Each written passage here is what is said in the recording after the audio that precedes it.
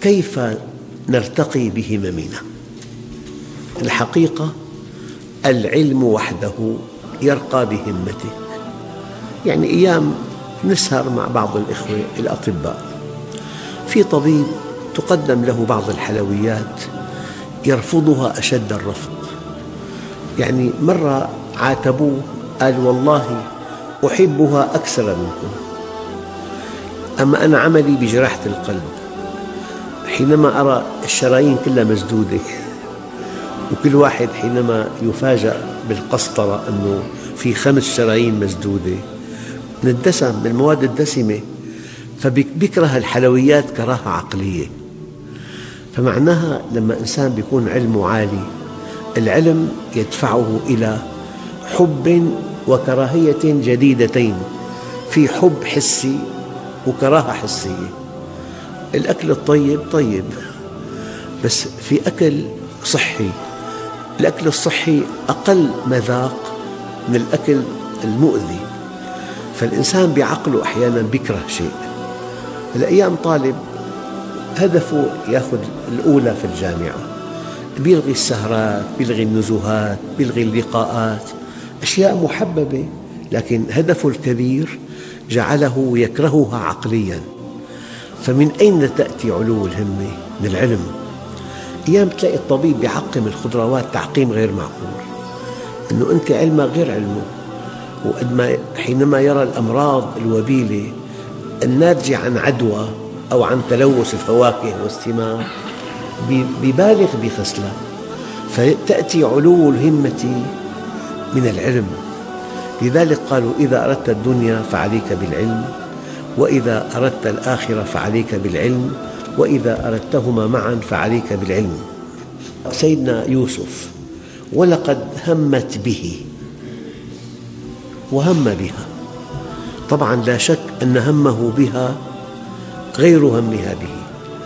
همت أن تغريه أما هم بدفعها.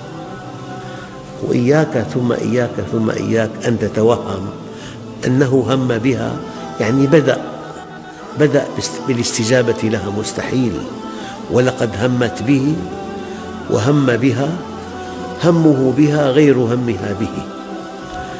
لأنه ولقد راودته عن نفسه قال فاستعصى الواحد لو شاهد أفعى بغرفة هو هي همت أن تلدغه وهم بقتلها. همه بقتلها لا بالاستجابة لها. مستحيل ولقد همت به وهم بها. لولا أن رأى برهان ربه. في تفسير لطيف جدا وهم بها لولا أن رأى برهان ربه. لذلك أخواننا الكرام أخطر شيء بحياتنا الرؤية الرؤية هلا الذي يسرق ماذا رأى؟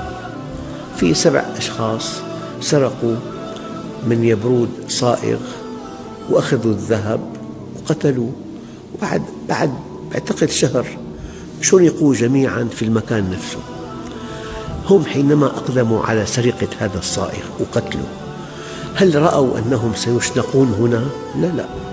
رأوا أنهم سيغتنون. إذا كل الخطر بالرؤية. ماذا ترى؟ دقق الآن. المؤمن يلقي الله في قلبه نورا يريه الحق حقا والباطل باطلا. أقوى آية بهالمعنى يا أيها الذين آمنوا اتقوا الله حق تقاته. يا أيها الذين آمنوا اتقوا الله وآمنوا برسوله. يؤتكم كفلين من رحمته ويجعل لكم نورا تمشون به.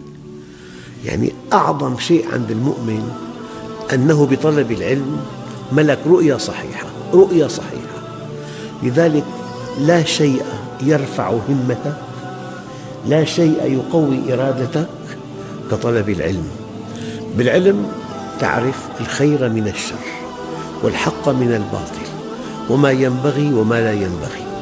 إذا ولقد همت به وهم بها لولا أن رأى برهان ربه.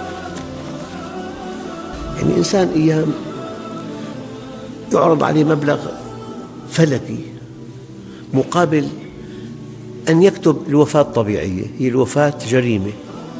أيام له خمسين مليون.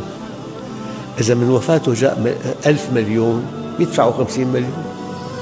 فالمؤمن لو مئة مليون عنده رؤية لا يمكن يتكلم بغير الحق.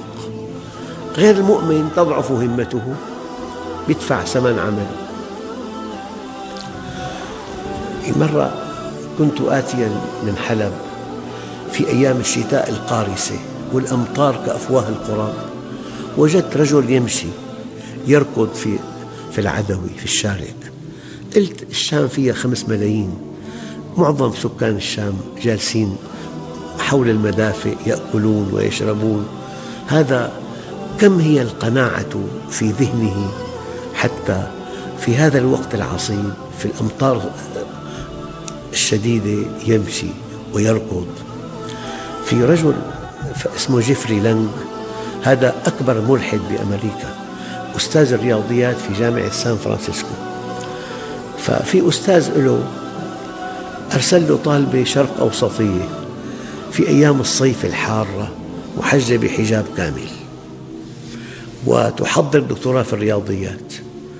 فبيقول هذا جيفري لانغ الملحد قال هذه الفتاة بهذه الثياب في عندها قناعات بأعلى مستوى جعلتها ترتدي هذه الثياب مع أن كل الفتيات شبه عرايا.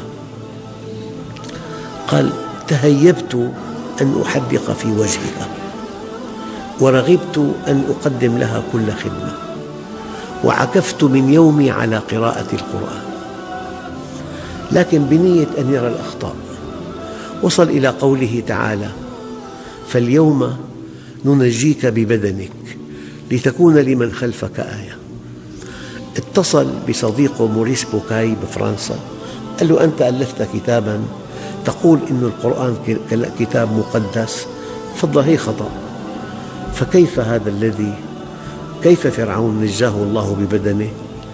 فأجابه موريس بوكاي قال له هذا هذا الرجل رممت جسده بنفسي هذا أرسل من القاهرة إلى باريس لترميم جثته. هذا فرعون موسى. الذي مات غرقا وآثار الملح في فمه. فهنا أيقن أن هذا كلام الله والآن من كبار الدعاة بأمريكا. لذلك قالوا استقيموا يستقم بكم استقيموا يستقم بكم. كان أكبر ملحد هذه الفتاة المحجبة قال في عندها قناعات متميزة حتى لبست هذه الثياب فلذلك أيها الإخوة الإنسان حينما تكون قناعاته عالية جدا يسلك سلوك مختلف عن بقية الناس. إذا أحد أكبر أسباب علو الهمة العلم. الآن في عنا سبب آخر. كلما كبر الهدف ازدادت الهمة علوا. في أهداف محدودة أهداف تنتهي.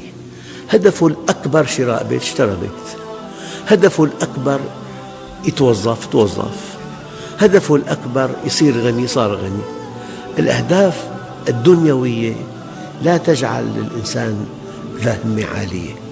أما أهداف كبيرة لو واحد أراد أن يقدم لأمته شيئا أن يحل مشكلة أمته في مشاكل البطالة مشاكل العنوسة مشاكل الجهل مشاكل الانحراف فإنسان أراد أن يحمل هم أمته فكلما كان همه كبيرا كانت همته كبيرة.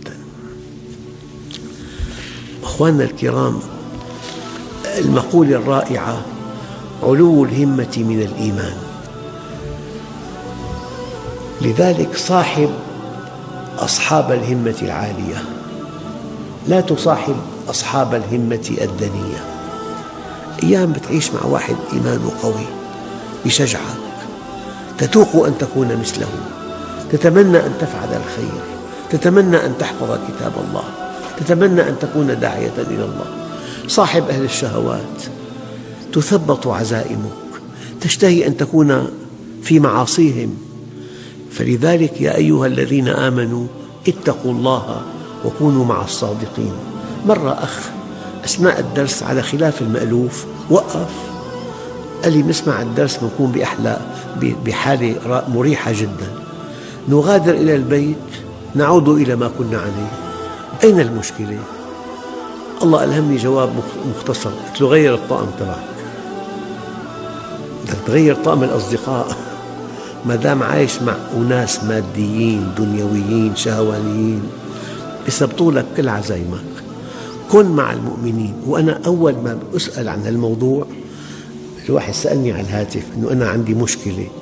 بقول له صاحب المؤمن لا تصاحب إلا مؤمنا ولا يأكل طعامك إلا تقي. وبقول له الآية يا أيها الذين آمنوا اتقوا الله وكونوا مع الصادقين. إذا صاحب أصحاب الهمة العالية. شيء آخر من علامات أصحاب الهمم العالية الدنيا عندهم صغيرة ليست كبيرة. يعني ما له مستعد يعصي الله لو تعطيه مليار. الدنيا صغيرة صغيرة أمام طاعة الله عز وجل. شيء آخر أصحاب الهمة العالية لا يتأثرون بالبيئة إطلاقا. هلأ نحن أحيانا تلاقي نساء المسلمين تحت رحمة مصمم أزياء فرنسي قد يكون يهودي. تحت رحمة مصمم أزياء. أي تصميم للأزياء يتبعه نساء المسلمين. هذا من ضعف الإيمان. أما قوي الإيمان يتحرك بقناعاته. ترتدي المرأة المؤمنة الثياب التي ترضي الله عز وجل. فيا أيها الإخوة علو الهمة من الإيمان أو ممكن أن يقابلها قوة الإرادة. قوة الإرادة تحتاج إلى هدف كبير وإلى علم غزير.